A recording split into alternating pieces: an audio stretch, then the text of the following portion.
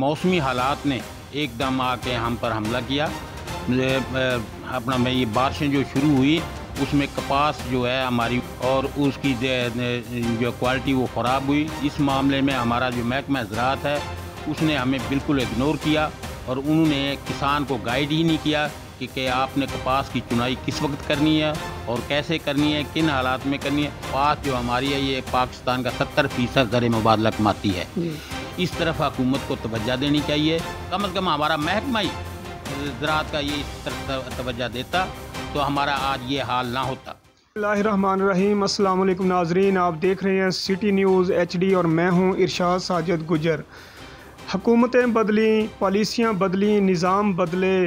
हर तरह का निज़ाम फ़सल के लिहाज से और किसान की पॉलिसी के हवाले से हुकूमत ने वाजिया किसी भी दौर में किसी भी हुकूमत ने किसान की जो मजबूरियाँ और किसान की जो रुपए पैसे से दूरियाँ वो कम करने की कोशिश किसी भी हुकूमत ने नहीं की।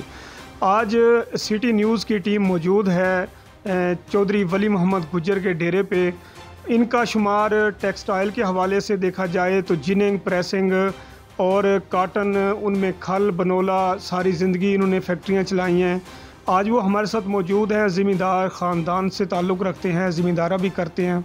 इस हवाले से चोरी साहब से जानते हैं कि कपास की ख़ास तौर पे जो फ़सल है, जो इस वक्त बहरान का शिकार है, बिल्कुल कोई भी ख़रीदो फरोख्त का जो मामला है, वो बिल्कुल ठप पड़ा है, क्या मसला है, क्यों नहीं किसान की परेशानी है जो वो हल की जा रही है? इसमें हुकूमत की कोई नालायकी है या कोई इंटरनेशनल जो इसका कपास का जो रुझान है लेन देन का वो कम है? रेट्स के हवाले से अगर देखा जाए तो शुरू में जब हुकूमत पीटीआई की थी, उस वक्त बड़े अच्छे रेट्स थे। फ़सल की जो परचेजिंग ख़रीदो फरोख्त है, वो बहुत अच्छी थी अराइवल आमदोरफ़त हर चीज़ बहुत अच्छी थी। लेकिन जो ही हुकूमत बदली, साथ में निज़ाम भी तब्दील हो गया। इस वक्त किसान बहुत परेशान है अपनी फ़सल से। चौल साहब से जानते हैं, क्योंकि ये अपना वसी तजर्बा रखते हैं। फैक्ट्रीज़ के हवाले से काटन जिनिंग प्रेसिंग के हवाले से सारी ज़िंदगी उन्होंने अपना कारोबार किया। उस हवाले से इस आज चौर साहब से गुफ्तु करते हैं। अस्सलाम वालेकुम जी। जी चौर साहब जैसा कि आप देख रहे हैं किसान बड़ा परेशान है कपास की सेल नहीं हो रही। हालात बहुत ख़राब हैं। नेक्स्ट जो वीट का सीज़न आ रहा है गंदम की बजाई अरूज पर है।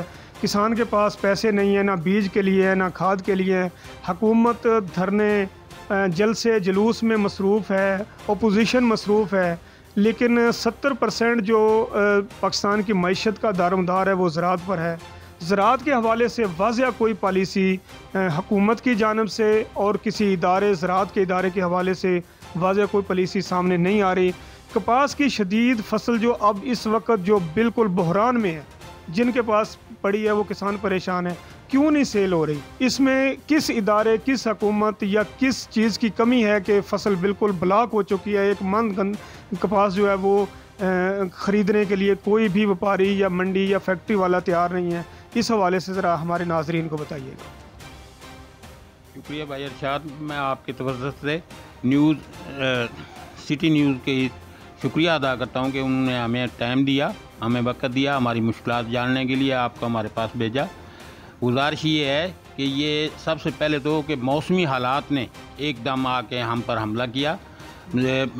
अपना मैं ये बारिशें जो शुरू हुई उसमें कपास जो है हमारी वो भीगी और उसकी जो क्वालिटी वो ख़राब हुई। इस मामले में हमारा जो महकमा ज़रात है उसने हमें बिल्कुल इग्नोर किया और उन्होंने किसान को गाइड ही नहीं किया कि, कि आपने कपास की चुनाई किस वक्त करनी है और कैसे करनी है किन हालात में करनी है।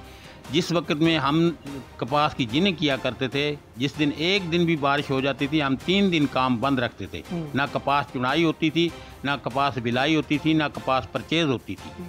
तो इस दफ़ा सिलसिला ये चला है कि कपास के दौरान बारिश के दौरान ही कपास चुनाई होती रही है बारिश के दौरान ही कपास बिकती रही है और बारिश के दौरान ही कपास की बिलाई होती रही है। अब वो जो बिलाई हुई कपास जो है वो आटा गूंदे की तरह में बन गई। और जी जिसकी वजह से अब जिनर की वो आगे सेल नहीं हो रही और ये सारा सिस्टम जो है ये हमारा ब्लॉक हो गया तो सब ये हुकूमत इस बारे में कोई सोच रही है? क्योंकि किसान तो परेशान है। बारिश और कुदरती आफात की वजह से जिस मसले से भी कपास की फ़सल जो है वो डिस्टर्ब हुई है। लेकिन इस बारे में कोई हुकूमत वाज अपनी पॉलिसी सामने नहीं ला रही। इस हवाले से आप क्या कहेंगे? गुजारिश ये है कि हमारे जो सियासी हालात हैं वो बड़े डिस्टर्ब हैं। हमारी हुकूमतें हैं जो आपस में एक दूसरे की खींचातानी पे लगी हुई हैं।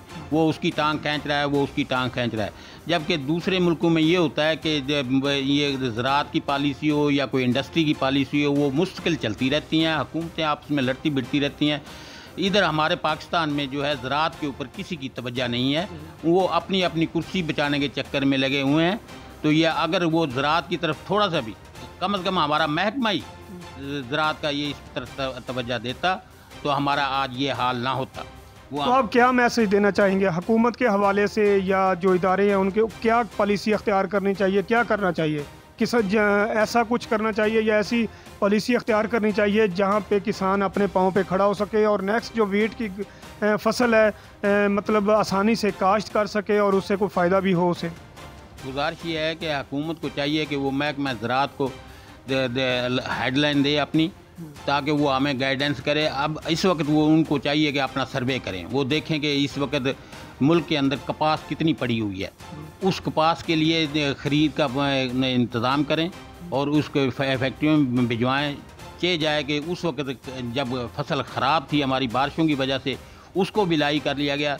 पीछे जो पड़ी है, वो बेहतरीन फ़सल पड़ी हुई है। इसको वो ख़रीद करवाएँ और फैक्ट्रियों में भिजवाएँ और किसान का मसला हल करें।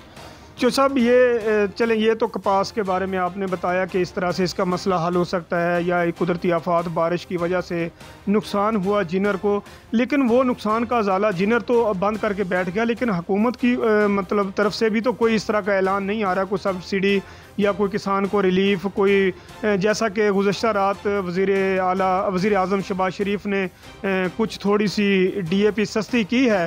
वो पता नहीं वो सियासी बयान है या कि उस पर कोई अमल दरामद भी होगा। सबका हुकूमतों में तो बिल्कुल भी अमल दरामद नहीं हुआ। एक एक दो दो बोरी के लिए शनाख्ती कार्ड की कापियाँ और हज़ारों की तादाद में किसान जो हैं वो सारा दिन अपना काम छोड़ के दुकान पे खड़े होते थे शाम को खाली हाथ आते थे एक बोरी भी नहीं मिलती थी। क्या उस पर अमल दरामद होगा? आप क्या देख रहे हैं इसको? गुजारिश ये है कि कपास जो हमारी है ये पाकिस्तान का सत्तर फ़ीसद ज़र मुबादला कमाती है। इस तरफ़ हुकूमत को तवज्जा देनी चाहिए और ये जो कपास हमारे फ़ील्ड में पड़ी हुई है, इसके लिए उन्हें अपने प्रोग्राम बनाने चाहिए उसकी ख़रीद के लिए और उसको सेल करने के लिए। लोगों को सब्सिडी दें या कि किसी भी तरह करें, ये जो फ़सल की कपास की है, इसको ज़ाय होने से बचाना चाहिए जो सब खाद बीज के हवाले से, महकमा ज़रात ने आज तक हमने कोई नहीं देखा कि किसी को, जैसा कि हमारे ज़िला विहाड़ी में भी कुछ दिन पहले मीडिया की निशानदेही पर तीन चार स्टोर जो हैं वो सील किए। जेली खाद बिल्कुल सामने पकड़ी गई, पत्थर को वो लगा रहे थे केमिकल। दो फैक्ट्रियाँ जो हैं वो सील की गई हैं, पकड़े गए। अभी तक उनका तो कोई पता ही नहीं चला कि उनके, उनको जुर्माने हुए हैं या वो जो उनका मवाद है वो जब्त करके तलफ किया गया है, उनको सज़ाएँ हुई हैं। अभी भी कोई महकमा इस तरह की कोई पॉलिसी अख्तियार नहीं कर रहा। इस हवाले से जेली, खाद, अद्वियात, बीज जो हैं, वो जो किसान इतनी रकम भी अदा करता है और उसको, उसका फ़ायदा नहीं मिलता, उस हवाले से ज़रा क्या कहें? गुजारिश ये है कि बैन अवी तौर पर हमारी पास की क्वालिटी को बहुत कमज़ोर गिना जाता है। उस क्वालिटी के कमज़ोर होने की वजह यही है कि महकमा ज़रात और हुकूमतें हमारी इस तरफ़ तोज्जा नहीं दे, देती हैं। अब सबसे पहली बुनियादी चीज़ तो बीज है, जो कि आज तक हम इस्टेब्लिश नहीं कर सके इसी तरह दो नंबर पेस्टिसाइड है वो हमें ख़राब करती है हम पैसा सारा खर्च कर देते हैं जबकि उसका फ़ायदा कोई नहीं होता। इसी तरह खादे में भी मिलावट है। अब ये जो आपने ब्याड़ी की मिसाल दी है मेरे भी इल्म में है कि डेढ़ लाख बोरी जो है वो पकड़ी गई है दो, दो नंबर और उसके ऊपर क्या होगा चार दिन की आगे पीछे होगा वो पैसे दे दिला के अपना छुट जाएँगे फिर दूसरा घर शुरू हो जाएगा। ये दो नंबर चीज़ें जो चलती हैं ये हमारी फ़सल के लिए नुकसानदेह हैं सबसे। तो हुकूमत क्यों नहीं उन पर कोई सख्त एक्शन क्यों नहीं लेती? ये एक्शन तभी होता है जब कोई सियासी जो है ये हालात हमारे अच्छे हों सियासत में इस्टेब्लिशमेंट हो। उसमें ये है कि अब हम हम तो हर वक्त खींचा तानी पे लगे होते हैं कुर्सी की खींचा तानी पे लगे होते हैं जबकि अब बरतानिया में एक ही असम्बली है वो तीन वज़ीर अजम बदल चुकी है लेकिन उनकी पॉलिसियाँ वही मुसलसल चलती रहती हैं। हाँ हम सियासी लीडरों के पीछे लगे हुए हैं, उनके पीछे मारे, नारे मारते रहते हैं। इस तरफ़ जो मुल्क की फ़सल है या उसकी इंडस्ट्री है, इस तरफ़ किसी की तवज्जो ही नहीं है। जी नाजरीन, जैसा कि चोरी वली मोहम्मद साहब की आपने बात सुनी, उनका कहना था कि जिनर को इस सीज़न में कुदरती आफात, मानसून बारिशें और कपास की क्वालिटी की वजह से बहुत बड़े लॉस हुए, जिनकी वजह से मतलब है कि उन्होंने परचेजिंग वगैरह बंद कर दी। हुकूमत धरनों और जलसों पे लगी हुई है। अपोजिशन जो है, उनके बारे में बयानबाजी करती है। हुकूमत के बारे में, हुकूमत अपोजिशन के बारे में। सिर्फ़ यही उनका करना धरना रह गया है। बाकी जो आवाम है, पाकिस्तान की मीशत ज़रात जो है, वो रीढ़ की हड्डी की मानद है पाकिस्तान की मीशत में। वो उसकी तरफ़ किसी की तवज्जो नहीं है। तो उनका यही कहना था कि ज़रात के हवाले से इदारे भी अपना काम सही तरीके से करें। उनके जो बीज, खाद, जो जेली जो कंपनियाँ बना रही हैं, उन पर सख्त एक्शन करें। किसान को रिलीफ दें। एक बोरी बारह तेरह हज़ार की या ग्यारह हज़ार की डीएपी की है। अगर वो किसान इतनी मुश्किल से अवेल करता है तो वो जेली होती है तो उसका बेनिफिट जो है वो कंपनी के जेलर को तो जाता है, लेकिन किसान की कमर तोड़ देता है। जी नाजरीन इसी के साथ इरशाद साजिद गुजर को इजाज़त दीजिए। अल्लाह हाफिज़।